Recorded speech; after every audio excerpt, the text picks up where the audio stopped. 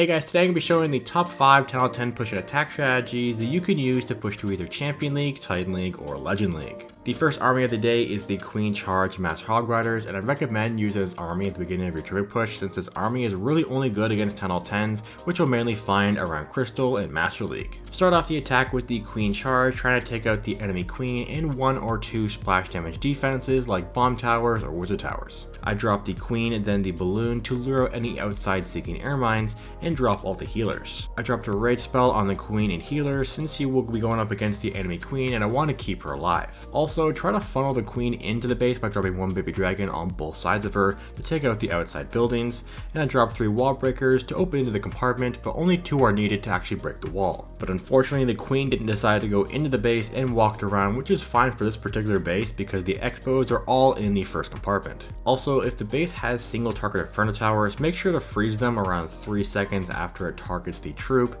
I also dropped the other rage to help the queen move through these outside buildings to get out of range of that inferno Inferno, which he did as soon as I dropped it. But it wasn't a complete waste of a spell since it got her back up to full health to push through the expos. Now the Clan Castle in this attack is using the Flamethrower which you'd want to drop at the very start of the attack to take out as many defenses as possible while trying to avoid expos. But if you can't get those donated to you, the Siege Barrack is an amazing replacement which you can drop with the King and Wizards. And getting back to the attack, the Flamethrower is at the bottom and the Queen is at the top, so in the middle of both, I drop the King and Wizards and with more wall breakers to open the walls. I drop another freeze on the Inferno to keep the king alive and poison the enemy CC troops. I thought the Inferno would go down to that push, but it didn't, so I dropped a few hogs to take it out, while dropping the rest at the bottom with the Flamethrower as I manually activate the Clan Castle. I did put an Apprentice Warden to help support the hogs through the base, but having a clan Castle with only hogs will work just as well. I dropped the first heal around the Wizard Tower to keep the hogs at full health, and dropped some cleanup troops at the bottom since its attack does tend to make you run out of time. The second heal goes around the last splash damage defense to take out the rest of the defenses and outside buildings to get the 3 star against this Hall 10 for a plus 55 trophies. Moving on to the second army, which is the Golem Valkyrie P.E.K.K.A attack strategy. This army can honestly be used throughout your entire trophy push if you look for Hall 11s, which tend to be pretty common throughout all the leagues leading up to 5,000 trophies. But starting off the attack, you want to create the funnel on both sides where you want to push into the base, which is normally the closest area to the Town Hall, but for this base, it's in the center, so instead I'll be going for the Eagle Artillery since it will destroy the Valkyries if you don't take it out as soon as possible. I create the first part of the funnel at the bottom with one P.E.K.K.A to distract and a few wizards to take out the outside buildings. I do the same thing on the other side which creates the funnel so I can drop the golem in the middle of both groups with the log launcher, both heroes, and the rest of the wizards. I then wall break both groups of P.E.K.K.As and wizards into the base by dropping three wall breakers on both sides, and once the wall opens from the log launcher, drop all the Valkyries to head into the base. As the troops work their way in, drop all four Earthquake spells in an area where the log launcher isn't breaking any walls that also opens a big portion of the base. I drop a heal around the core of the base to get everything back up to full, and I use the King's ability as it gets to about half health. I used the rage spell on the Town Hall to take out both Infernos, the Eagle Artillery, and the Town Hall to get the first and second star, and I used the last heal on the Valkyries as they head up to the top of the base, which didn't do much since there are too many defenses to keep them alive. This is usually when the raid ends since this army is mainly a 2 star attack strategy, but I try to go for the 3 stars since I have the Queen and the Apprentice Warden still working around the base. But having the Queen's ability and a freeze left, it wasn't enough to get these 3 stars, but a 90% 2 star star for a plus 28 trophies will work. On to the third army, which is the Zap Dragons. I personally don't use this much since I'm more of a ground attacker, but this army can be used throughout Champion League against the occasional 10 out 10, but mainly 10 out 11s. I start off by looking for where the air sweepers are pointing, and for this base, they are both pointing down, so going from the top is the best option. I drop all four lightning spells on the left air defense since I can't take out the right one with the king and queen. I use the baby dragon and a couple wizards to make the funnel for the heroes to move into the base. With two waves of wall breakers, I eventually open up the wall and use the king's ability since he gets below half health. I can now start the main push into the base with one dragon on both sides of where you're pushing, then drop the rest in between with all the balloons. I drop the first rage spell to get the dragons moving quickly through the enemy queen and electro dragon while dropping the poison spell to take him out.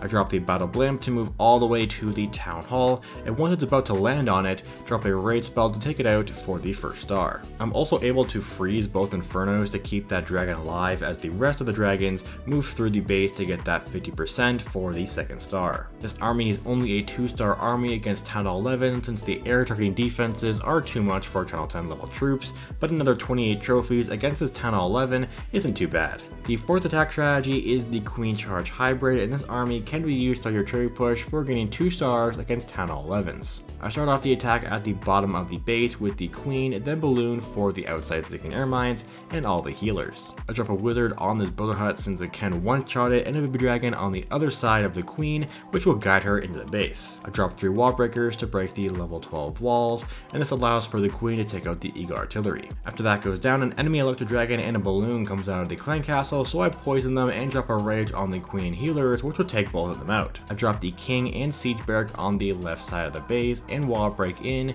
with another 3 wall breakers. This will allow for the funnel to be created so the hogs and miners can have a straight path into the core of the base. The king's ability can be used as it gets to half health and with the queen taking a big amount of damage, I drop the other rage and the rest of the wall breakers to get her back up to full and open the wall to get her working through another compartment. Both corners are now cleared and the siege barrack is about to break so now I can drop the miners and hogs to head into the base. Just like the first army, you can swap out the apprentice warden for more hog riders if you can get the warden donated to you. As the hybrid makes it to the core, I drop a heal to keep everything at full health to work through the defenses to get the first star from the town hall. I use a freeze on the Inferno Tower as the hogs move up to take it out, and heal as it wears off. I have no more heal spells, so now I'm trying to take out the last multi-Inferno Tower with the last two freeze spells, which didn't allow me to take it out, making it a really close attack, but missing out on the 3 stars with a 97% 2 star for a plus 31 trophies